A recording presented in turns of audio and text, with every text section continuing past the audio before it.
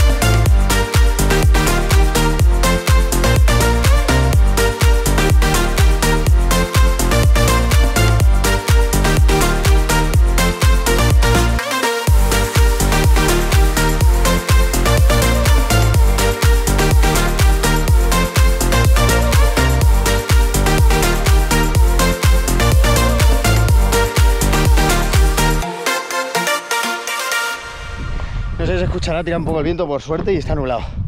Porque hace calor, ¿eh? Bueno, estamos casi en el punto más alto. Proyecto queda allí encima de una antena. Pero este es el sitio más panorámico.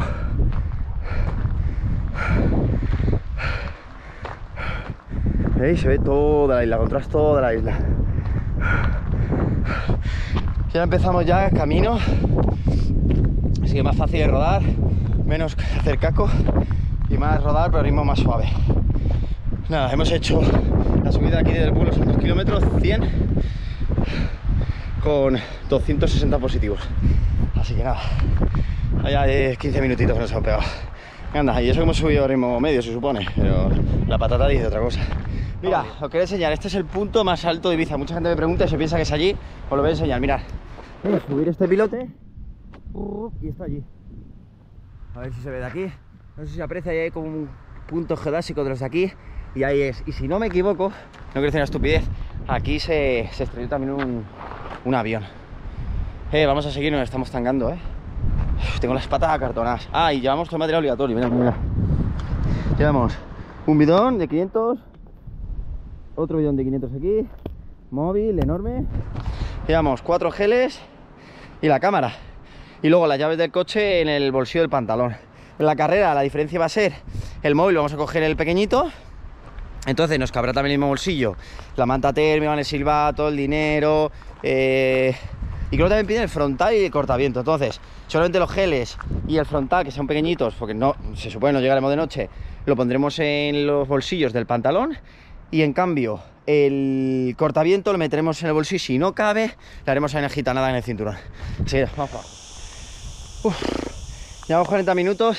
El cuerpo no quiere responder, ¿eh? No sé, es por la carga, por el cansancio del trabajo, por la humedad, por el calor, no lo sé. Pero que nos estamos metiendo caña y al fin al cabo el cuerpo lo va resintiendo. Y al fin y al cabo meter carga es esto también, correr con malas sensaciones. Y joder, me tiemblan las piernas, tío. Estoy subiendo, intentando no andar, o sea, todo el rato trotando, a 7, a 6 y pico, a 8. Son 2 kilómetros y pico de subida con 140. Y lo mismo de bajada, así que a ver si lo podemos hacer un par de veces. Nos gustaría hacer por lo menos 16 kilómetros, a ver qué sale. Llevamos 12 kilómetros a 5.20 de media, una hora justamente, con 650 positivos. Madre mía, qué viento. Se agradece, ¿eh? Aunque me quite ritmo, se agradece porque hace un calor. Estamos descansando aquí abajo entre 30 y 40 segundos y arriba también. Y estamos subiendo intentando no caminar, casi todo corriendo. Y bajando a un ritmo, a ver, dejándonos llevar, pero está saliendo a 3.40, 3.45 de media. Y estamos subiendo a 7 apros de media. Así que por eso sale ese ritmo de medio.